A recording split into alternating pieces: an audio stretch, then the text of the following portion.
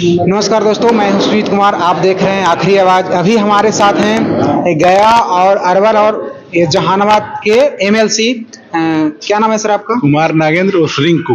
रिंकू यादव जी। जी? हाँ तो सर हम अभी हम इस एरिया में घूमते रहते हैं तो हमने देखा कि सबसे पहला पॉइंट कि यहाँ नल जल 95 परसेंट फेल है सर।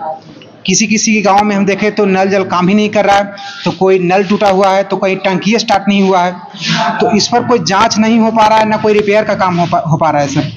क्या कहना चाहते हैं? देखिए ये बात तो सही है। जी। अगर ये सब सही होता हम्म, तो हमारी सरकार माननीय मुख्यमंत्री जी तेजस्वी जी इसको पीएचडी में नहीं देते। अब सारा नल जल का जो व्यवस्था है कहीं ना कहीं कमी रह गई होगी। हम्म, तो सारे नल जल अब पीएचडी विभाग करेंगे और उसमें सारे वार्ड और मुखिया जी और जनता सब लोग सजग रहेंगे। जिस दिन काम होगा ना उस दिन बढ़िया से काम कराएँगे यही उनकी जिम्मेवारी है और तभी ये सब सफल होगा।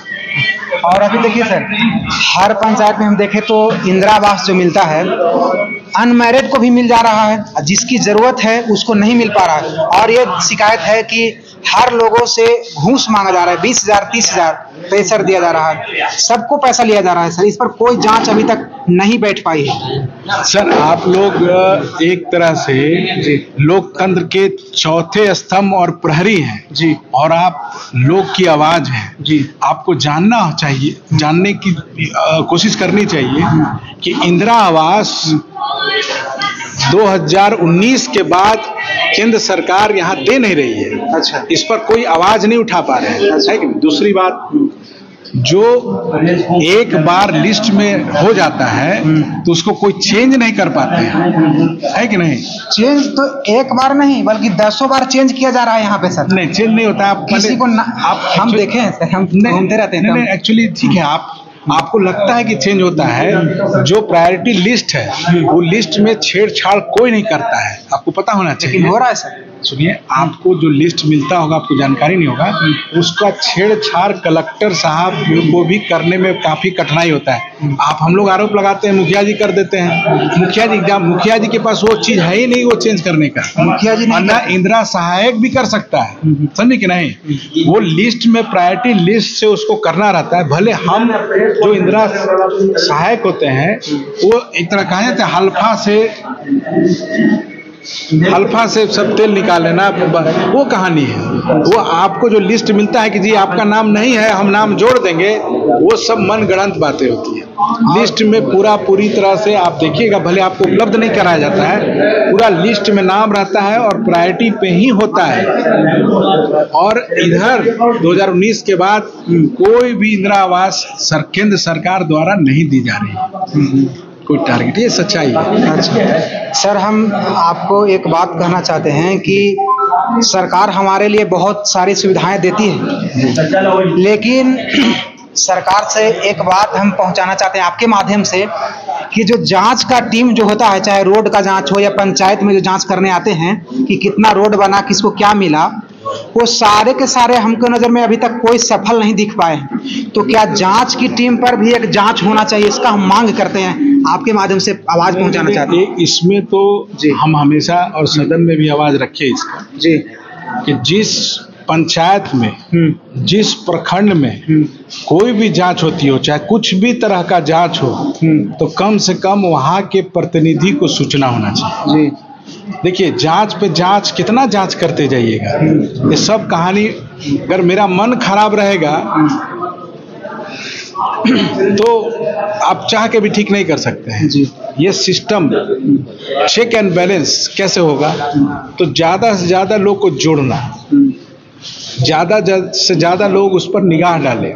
तो मेरा हम हमेशा कहते रहे हैं कि अगर किसी पंचायत में कोई जाँच टीम जाती है तो वहाँ के मुखिया जी को ज़रूर सूचना मिलना चाहिए, ताकि वो उस पर उस पर मुखिया जी का दस्खत भी होना चाहिए कि जाँच हुआ तो सही। और जिस वार्ड में जाता है, उस वार्ड के वार्ड सदस्य महोदय को भी उसमें शामिल करना चाहिए ताकि जो भी जाँच हुआ तो उस पर वार्ड सदस्य का भी दस्तखत होना चाहिए। इससे क्या होगा कि कम से कम जो आते हैं और ऊपरी ऊपरी चले जाते हैं तो वो सूचना मिल रहेगा ना वार्ड सदस्य को। अगर गलत दस्तखत करेंगे तो कल आकर के जनता भी पूछेगी कि वार्ड महोदय, मुखिया जी, आप कहाँ थे?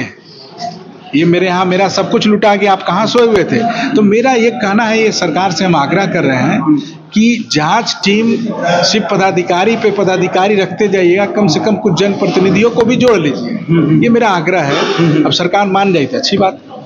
अभी देखिए सर आप जिस हॉल में बैठे हुए हैं नज़र घुमाए कहीं लाइट दिख रहा है कहीं बढ़ रहा है लाइट नहीं बढ़ रहा। है अभी मुखिया जी आप अप, ये अपने मुख्यालय का ये अंधेरा करके रखे थे पंचायत का क्या उजियाला करेंगे? तो अब यहाँ पे तो लाइन नहीं है। लाइन नहीं है कुछ देर से पहले से लाइन था। होगा होगा देखिए यही चीज़ तो हम सगरों घूम के बोल रहे हैं सब जगह यही मेरी बात चर्चा यही है जी। कि आपके पंचायत के विकास और आपके पंचायत के लिए कोई बाहरी व्यक्ति नहीं सोचेगा। नहीं सोचेगा। हाँ, सही आप बात। को है। सोचना है जी जी। और आपको सोच करके और थोड़ा सा अथी कर लीजिए रुकिए हम लोग को दिए उसके बाद अगर आप ही अपने लिए नहीं सोचिएगा, अपने लिए नहीं जगिएगा तो फिर नुकसान आप ही का ना होगा। अगर यहाँ बैठे हुए हैं, हम कहते हैं पंखा का एक खराब होगा कंडेंसर। तीस रुपया का चीज़ है, हम ध्यान नहीं देंगे तो ऐसे ही हम लोग सब मिलकर गर्मी में बैठेंगे। और मुखिया जी को ध्यान देना चाहिए, हम तो इसी के लिए आए हैं और मुखिया जी से उम्मीद करते हैं कि अगली बार आएँगे। पिछले बार हम तो इलेक्शन के टाइम में आए थे तो बोले थे तो उससे परिवर्तन नज़र आ रहा है। पिछले बार थोड़ा गंदगी टाइप का था। तो हम हमेशा कहते थे कि अरे जहाँ हमको स्वयं रहना है हमको इसके लिए साफ़ करने के लिए बाहरी आदमी की ज़रूरत है। लाइए ना हम ही बाहर झाड़ू दे देते हैं। दस घंटा तो हम ही को ना बैठना है। क्या मनीषर बाबू? तो इस यही तो मेरा ड्यूटी है। हमको हमारा ड्यूटी यही है कर्तव्य मेरा यही है कि सबको समझाना बुलाना और जगा देना। लेकिन एक मैसेज ज़रूर पहुंचाएगा सर कि जाँच वाली जो टीम है ना उस पर भी एक जाँच किया जाए क्योंकि जाँच जब पहुँचाए पहुंचवे नहीं करेगा सरकार तक तो सरकार कैसे समझेगी? देखिए की समस्या आप- क्या है? हम आपको बोले ना कि हमारे जैसा व्यक्ति अभी कैसे हमारे गार्जियन बोले जाँच जाँच पर भी जाँच वही हो जाता है। तो इसका निदान क्या है?